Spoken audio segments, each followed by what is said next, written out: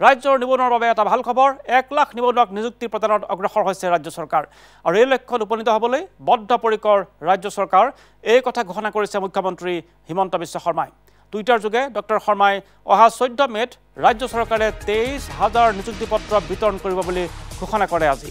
ৰাজ্যৰ গৃহ স্বাস্থ্য আৰু শিক্ষা খণ্ডত খালী হৈ থকা পদত এই নিযুক্তি পত্ৰ প্ৰদান কৰিব ৰাজ্য চৰকাৰে। বিভিন্ন পৰ্যায়ত বিভিন্ন বিভাগত নিযুক্তি পৰ্ব আগবাঢ়ি থকা বুলিও ঘোষণা কৰিছে মুখ্যমন্ত্ৰীয়ে ইয়াৰ অংশ হিচাপে অহা চৈধ্য মে'ত ৰাজ্য চৰকাৰে তেইছ হাজাৰ নিযুক্তি পত্ৰ বিতৰণ কৰিব।